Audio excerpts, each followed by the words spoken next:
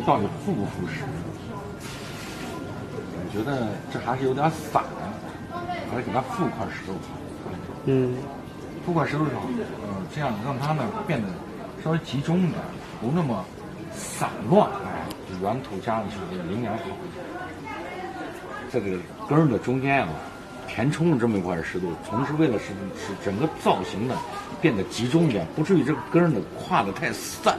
太散以后，这儿镂空过去。你虽然说我们有好多东西，比如石头来说，要透露皱皱要漏过去啊，但是你要真的漏的太空的时候，你就觉得这个形很散，它不自然了，就是。所以我在这儿呢，就填上这么一块石头啊。只要你稍微留点意，留点心啊，应该是没有问题。像这种东西，你在自然界你你都不用管它，三年大旱它死不了，哎，它一个月大雨它也死不了，它就是这么个东西啊。有时候太精心了，天天给它浇水，天天给它施肥，这反倒是个麻烦。哎，我也不希望别人对咱的东西说三道四的，说的那么不那么友好啊。我觉得也没有必要，大家都是为了一个植物、植株或者一个盆景这样的东西，它既不是一个呃战争武器，又不是一个吃饭的家伙，它就是一个呃绿植啊。所以咱们不必要说很多激烈的话啊。我觉得这个就有点。有点什么感觉？像一个人站在这儿，他因为你们画的人站在这儿，有点像远处眺望的那种感觉啊，就是眺望那种感觉。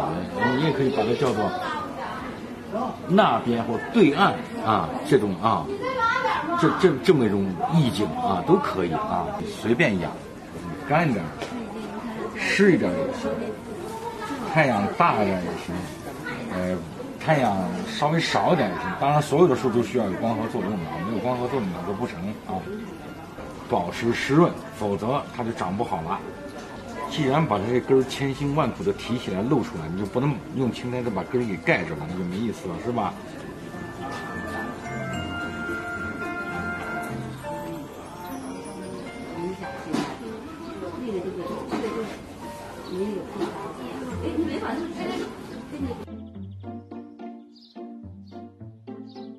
我是老楼，如果你也对中国传统文化盆景艺术感兴趣的话，那么欢迎你在视频下方留言，并且咱们一起探讨交流，共同成长。